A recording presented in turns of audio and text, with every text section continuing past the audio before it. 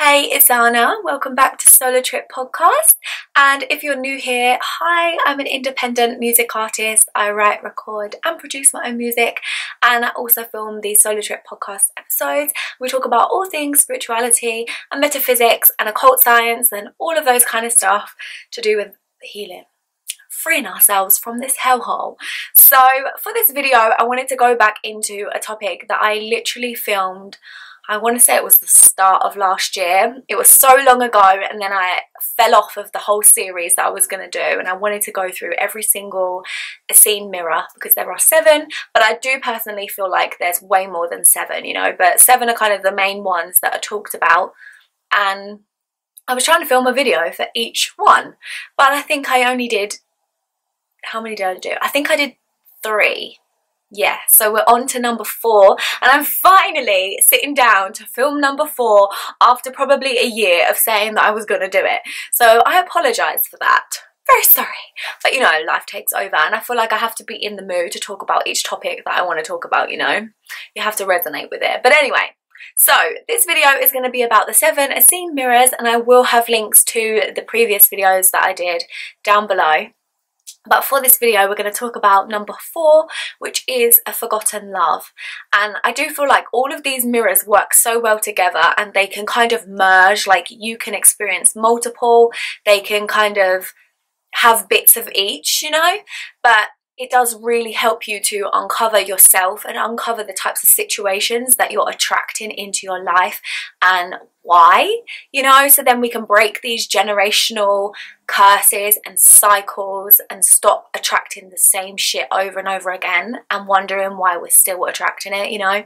So this fourth one is a forgotten love and this kind of goes into um, like addictive behavior where I feel like there's so many ways to explain it and so many um, possibilities and circumstances that you could be experiencing, you know. So when it comes to like addiction and compulsive behavior, that could range anywhere from literal addiction, like alcohol and drugs and that kind of thing, all the way to like being addictive addictive, addicted to love and toxic relationships or addicted to like the grind and working hard you know? Like there can be so many ways that we can get caught up in these cycles where we feel like we can't do it differently we can't change it we can't let go of it like we need it. You know it's almost like a um, codependent mentality where you literally get so addicted and so caught up in wanting that thing or feel feeling like that thing is something that you need or something that you can't live without you know? So yeah it can kind of range from a whole different thing. So maybe you're somebody that's dealing with addiction or maybe you're somebody that is experiencing a codependency towards relationships or towards your parents or towards a circumstance you know you could be very attached to like the poverty mindset or very attached to needing to work hard all of the time. Like you can't achieve success any other way. You just have to burn yourself out on a daily basis you know? There's a lot of um, ways that we can experience this but in your life um, you will meet people and you will go through experiences that are a mirror and a reflection of you.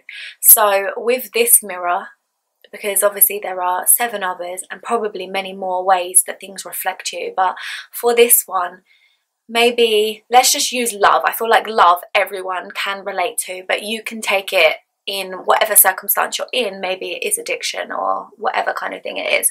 But let's just go with um, codependency because this is something I've experienced so fucking bad like to the extreme where you become addicted even thought patterns that just came to me randomly even thought patterns we get addicted to you know? But anyway so say that it's a romantic relationship and you are addicted to feeling validated, like feeling loved, feeling good, feeling worthy, you know, like you are addicted to having other people affirm that to you. Now, you can go through all of these experiences where you attract, you could either attract the people that do that and you get caught up in the toxic cycle of being codependent and relying on those people to do that for you, or you could attract people that are the opposite. You probably have experienced both to be honest but you could attract the opposite where they won't do that for you and you literally feel like you're drowning like you feel like you're on your own and why won't this person commit to me? Why won't this person give me what I need? Why won't they tell me what I need to hear you know? I've definitely experienced both ends of that spectrum. So that's telling you a belief about yourself. It's showing you who you are and who you aren't and what you need and what you don't.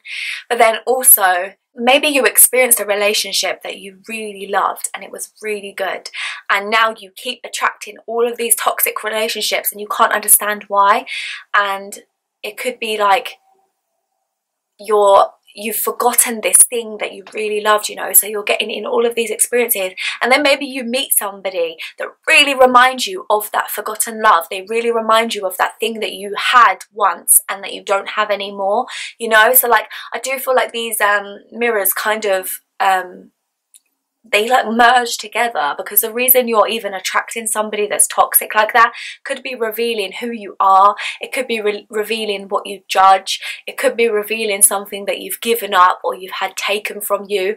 You know these are the other three mirrors that I've already talked about. So it could be revealing a million different things. But when it comes to a forgotten love it's something that you've you've forgotten about, you've lost sight of it because you've been so caught up in all of these cycles and all of these addictions and all of these compulsive behaviors that you keep repeating, you know, cycles, you keep repeating all of these compulsive behaviors. So either you're attracting reminders of the forgotten love or you've still forgotten about it, you know, and maybe I'm the reminder of it by you watching this video. Maybe you've completely forgotten about it and you haven't yet experienced that. But I think for a lot of people, there are things that they've forgotten about that they loved, and their toxic behaviors mean that they lose that thing or that they forget that they even wanted that thing or even liked that thing. So, yeah, I hope this made sense. I haven't filmed this video in so long talking about these topics, but it really is just showing you yourself and the different ways, the different beliefs that you hold and the different ways that you respond and react to those beliefs. And then you start to experience other people and circumstances and situations that are reflecting that you know so really take a look at the type of experience that you're going through and are there any thought patterns that you're addicted to? Are there any behaviors that you're addicted to? Are there any, like, are you codependent with, and it might not just be with um, people, you might not be codependent with people, you could be codependent with anything. You could be addicted to work, you could be addicted to material things and constantly caught up in a cycle of needing to buy new things over and over again, you know, like it's about compulsive behavior and the cycles that you get caught up in and then attracting reminders of those behaviors and of those things that you've had to let go of and forgotten and lost through that compulsive behavior. So, and once you shed light on it, you're able to break that cycle, you're able to work through it so that you can then really heal that and stop attracting those things, you know? So I hope this video was helpful. We have a nice quick episode for once. but thank you so much for listening and watching and I am, I actually am going to go through all seven and I will have a link to the rest of them down below. So thank you so much for listening and watching. Don't forget to check out the description box for links to my music and all of my social media as well as our private Instagram group where we just help each other like I post all the time on there just asking you different questions and we interact with each other. And you can always DM me as well. And my phone number will also be down below. I swear I have so many things to list off at the end of the videos but yeah.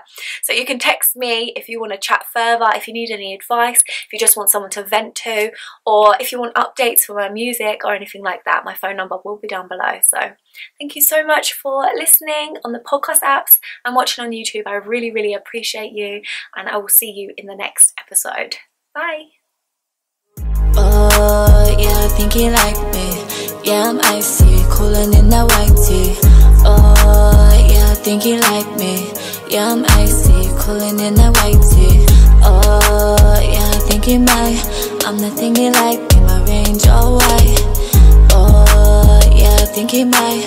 I'm the thing he like, pick my range, oh I